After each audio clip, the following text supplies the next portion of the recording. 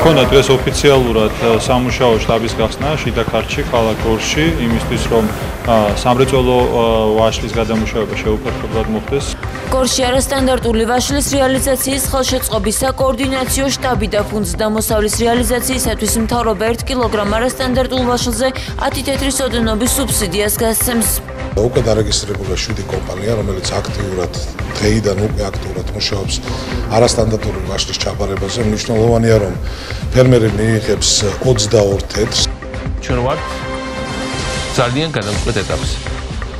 იმიტომ რომ ძალიან ბევრი ერი გამქრალა დედამიწის ზურგიდან და მე როდესაც ერები ქრებიან უკვე ვეღარავინ ვეღარ გაშის თყვან მართალს.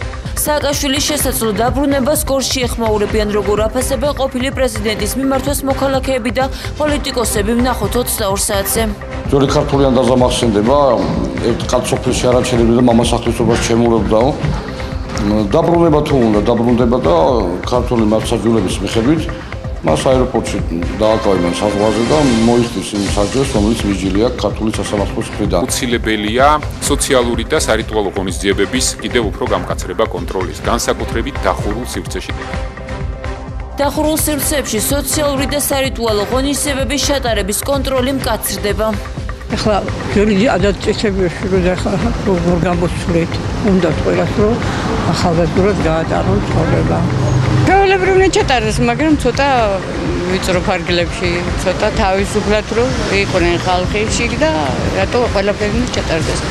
აუცილებლად დაწესდა შვილო ჭკუაზე